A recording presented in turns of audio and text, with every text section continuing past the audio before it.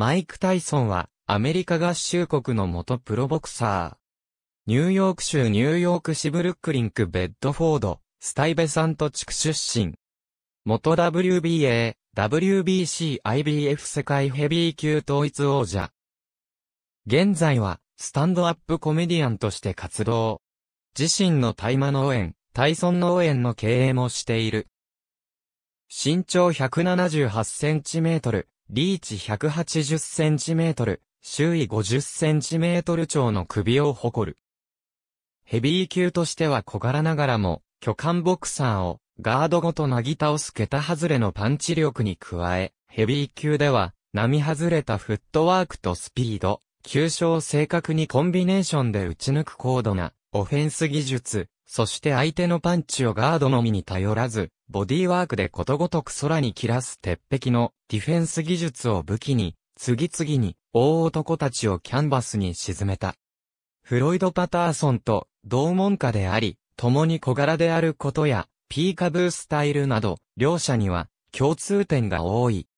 カスダマトードンキング2008年、カンヌ国際映画祭にて、マイク・タイソン・マイク・タイソン1998年に、リングマガジンが発表した、史上最高のヘビー級では14位に、ランキングされている。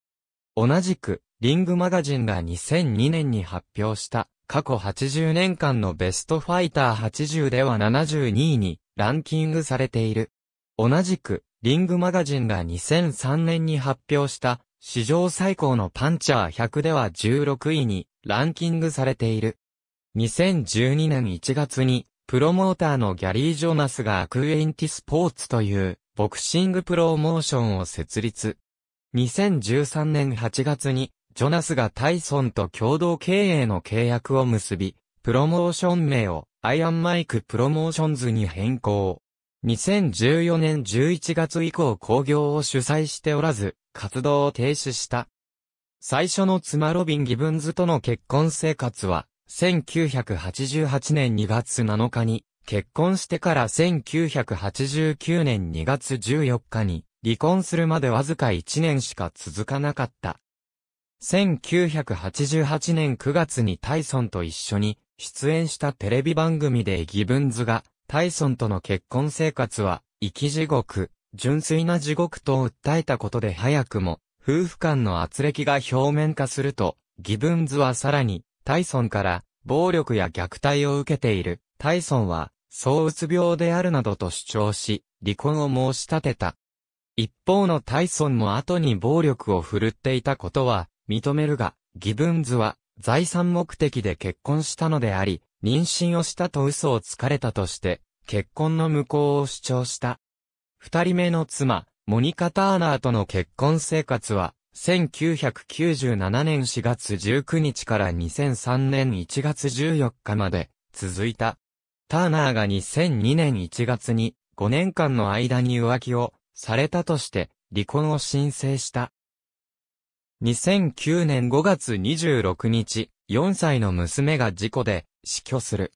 自宅のプレイルームでトレッドミルのコードが首に巻きついて意識を失っている状態で発見され、母親が救急車を予備病院に運ばれるが、翌日に亡くなった。娘の死去からわずか11日後の2009年6月6日に、死去した娘の母親とは別の長年付き合っていた女性ラキハ・スパイサーと結婚した。タイソンは、レイプ事件で、有罪判決を下された際に、裁判官から命じられて、精神鑑定を受け、双極性障害と医師から診断されている。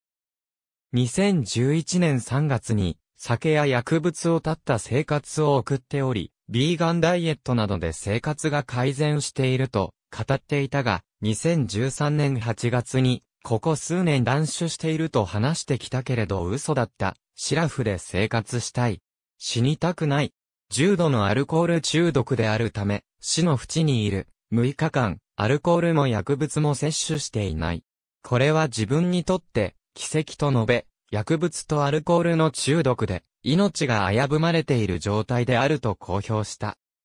その後2013年12月には、規則正しい生活を送り依存症克服のため12ステップのプログラムに通っていると語っているが、ビーガンについては、4年間ビーガンだったが、妄想ではない、自治系肉を食べていると、ビーガンは止めたと語った。